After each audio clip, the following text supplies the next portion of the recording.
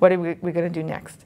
The next thing I'm going to do is use one of those facts that we proved a moment ago, specifically that I don't have to include this y bar. Specifically that the sum of the xi minus x bar times yi minus y bars is equal to the sum of the xi minus x bar times yi. So I'm going to write this again.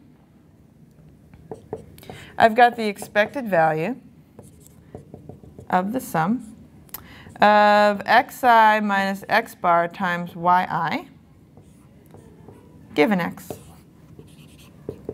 divided by this denominator. Okay? What's next?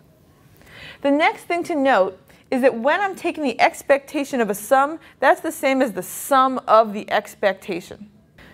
Suppose that a whole lot of times I'm going to roll a die and write down the number, flip a coin, write down a 0 or 1, and add those things together. And I could take the mean of all those results, all those quantities.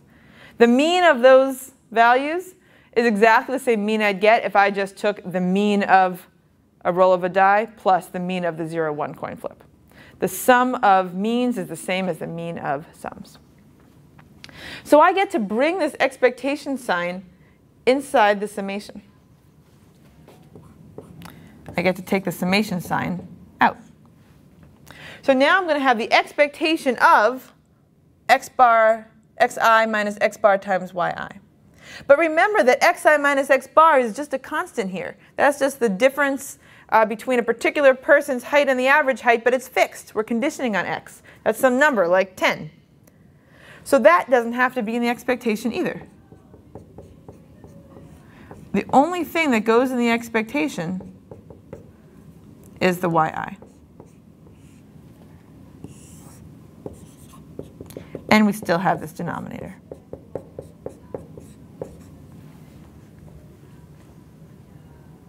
Now what? Remember that the expected value of yi given x is just the point down the line. In other words, what value would you expect to see for y for a particular person who has a certain value of x? Well, wherever the line predicts for that person. In other words, beta 0 plus beta 1 x. That's what we wrote down a moment ago. So what I have here is the sum of xi minus x bar times beta 0 plus beta 1 xi. Whole thing divided by the sum of the square differences on x bar.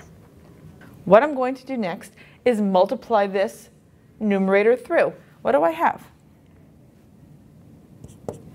I have the sum over all the data points of xi minus x bar times beta 0 plus the sum over all the data points of xi minus x bar times beta 1 times xi. And the whole thing is divided by the sum of xi minus x bar squared, or I could also just note that that's the same as dividing each of these quantities by the sum of the squared differences on x.